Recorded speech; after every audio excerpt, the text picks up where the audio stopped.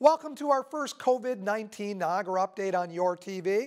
You're used to the source bringing you coverage of local events across the region. Today we change focus with the source concentrating solely on the COVID 19 situation in Niagara. From our Niagara Falls studio, we'll check in with government officials, community leaders, and everyday citizens, all of whom are dealing with the impact of the virus. Please stay tuned.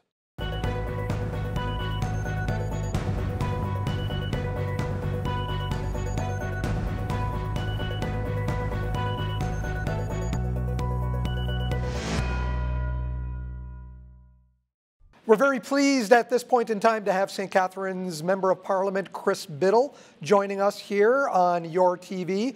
Just announced uh, around 10:30 this morning by the federal government, 82 billion dollars in stimulus funding uh, to help households and businesses. This 82 billion, certainly a lot more. How did that come about? We've been saying this for a while that we've managed our books in such a way that we would have the firepower to respond to a crisis like this if we needed to, and uh, we're responding in kind with the financial firepower to uh, address the crisis, and that. Uh, for the amateur economists at home, it ends up being about 3% of our gross domestic product. Um, and so we want to ensure that once this crisis is over, that um, Canadians are in a good spot and not only that, that they're taken care of throughout this crisis so that they don't have to make decisions about whether to go to work or take care of family, and ensuring that public health and public safety and personal health is at the forefront of everyone's decision, and that government will have their back.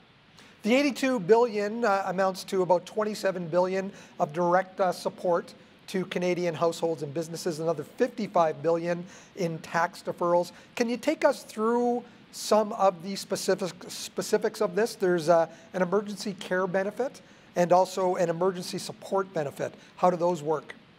Absolutely, and we'll be getting the details as we go forward, but Canadians aren't going to be left behind. We, we heard that, especially from those in the gig economy, freelance workers, workers in the arts community, that they wouldn't be covered if there were going to be major shutdowns.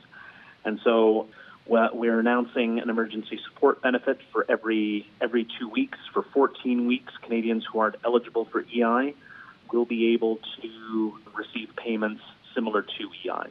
We're going to try to use existing programs to ensure that money gets out faster. So there will be an increase to the Canada Child Benefit for families who are eligible.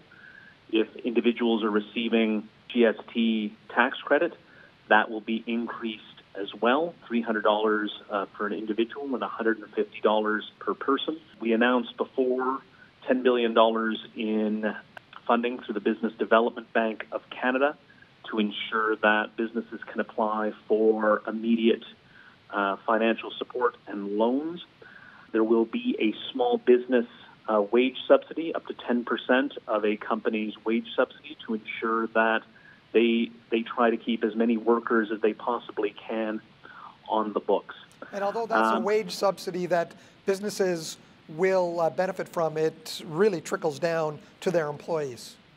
Absolutely, and that's and that's the goal. Like and and again, safety and health is our number one priority, but we want to ensure that as many Canadians as uh, can stay in the workforce do. I know uh, employers are going to have that challenge going forward, but government is going to be there to help them out.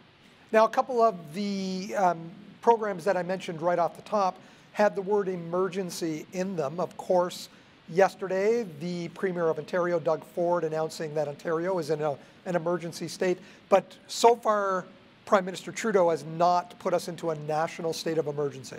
I think the Prime Minister would tell you that this is an emergency and that's why there is emergency funding. Declaring an emergency under the Emergency Measures Act is a is a different level. This was a replacement for the War Measures Act.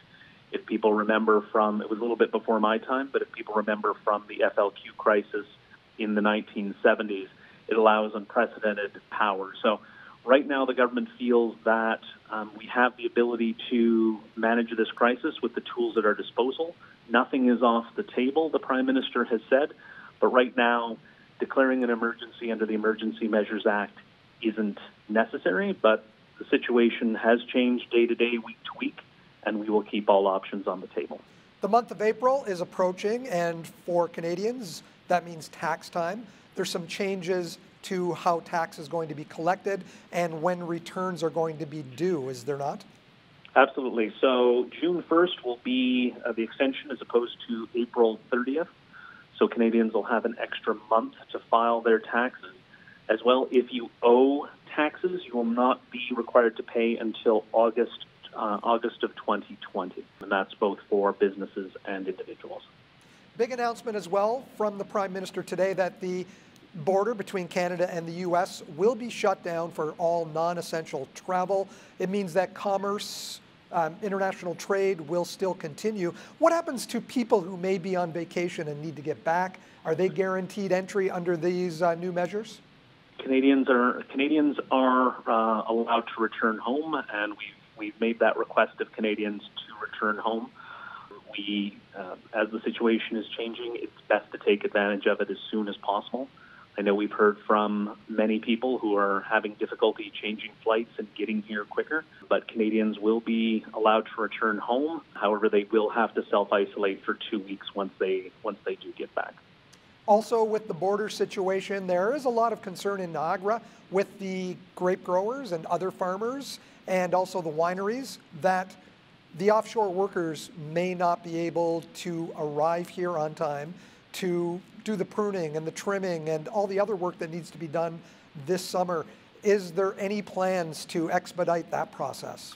I've raised this concern um, with the Prime Minister's office. We, they're fielding a lot of issues from across the economy in terms of pressing issues that need to be addressed as we go. It is it is being discussed. I don't have an answer yet, unfortunately, and I hope to have one soon. There is a mention of the Farm Credit Canada boost.